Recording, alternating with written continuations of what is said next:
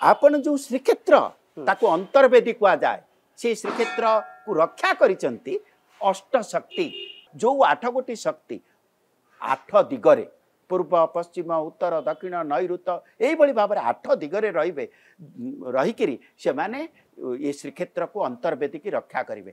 ସେ ଆଠଟି ମନ୍ଦିର ଆପଣ ଆଜି ଦେଖିବେ ସେ ଆଠ ଜଣ ଦେବୀ ଅଛନ୍ତି। ଆପଣଙ୍କର କିଏ? ମଙ୍ଗଳା ବାଟ ବଟମଙ୍ଗଳା ମଙ୍ଗଳା। ବିମଳା ଅର୍ଦ୍ଧଶୋଷିଣୀ ଆଲାମଚଣ୍ଡୀ ମରିଚିକା ସନ୍ଧ୍ୟା କାଳରାତ୍ରି ଏବଂ ଚଣ୍ଡିକା।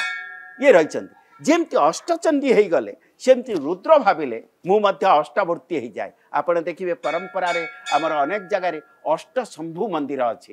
ସେ ଶମ୍ଭୁ ଆଠ ପ୍ରକାରରେ ହେଇଗଲେ। ସେ ଶମ୍ଭୁ ଆଠ ପ୍ରକାରରେ କିଏ?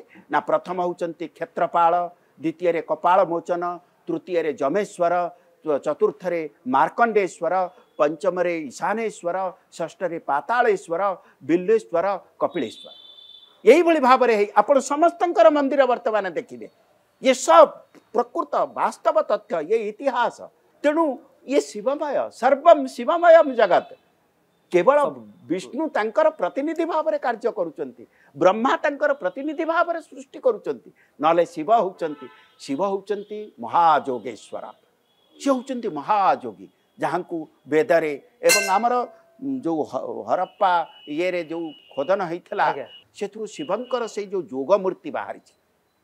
ସେ ଯୋଗ ମାନେ ସେ ହେଉଛନ୍ତି ମହାଯୋଗୀ। ଯତ୍ର ଯୋଗେଶ୍ୱର କୃଷ୍ଣ ଆକ୍ଚୁଆଲି ଯୋଗେଶ୍ୱର ହେଉଛନ୍ତି ଦେବଦେବ ମହାଦେବ।